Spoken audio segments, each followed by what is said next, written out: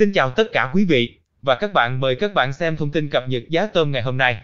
Trang thông tin thủy sản kính chúc quý vị và các bạn ngày mới vui vẻ và một ngày làm việc thật hiệu quả.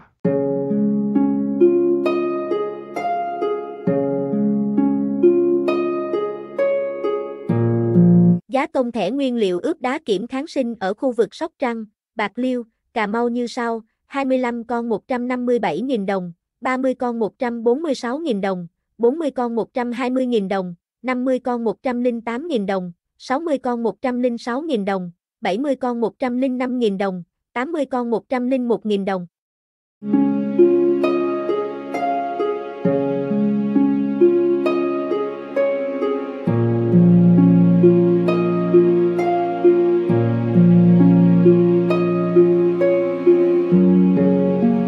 Giá công thẻ oxy kiểm kháng sinh khu vực Sóc Trăng, Bạc Liêu, Cà Mau như sau, 20 con 200.000 đồng, 25 con 170.000 đồng, 30 con lớn 158.000 đồng, 30 con nhỏ 153.000 đồng, 40 con lớn 124.000 đồng, 40 con nhỏ 122.000 đồng, 50 con 118.000 đồng, 60 con 112.000 đồng.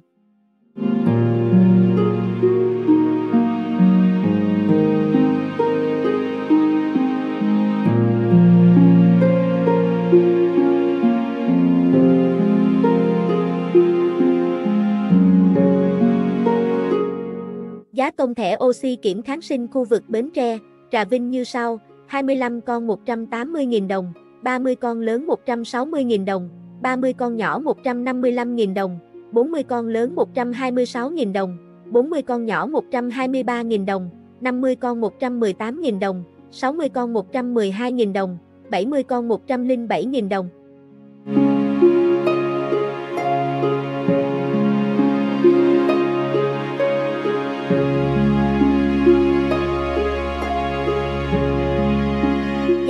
Thẻ oxy, khu vực, Sóc Trăng, Bạc Liêu, Cà Mau như sau, 20 con 205.000 đồng, 25 con 175.000 đồng, 30 con 155.000 đồng, 40 con 125.000 đồng, 50 con 118.000 đồng, 60 con 115.000 đồng, liên hệ 0793652820, gặp thân.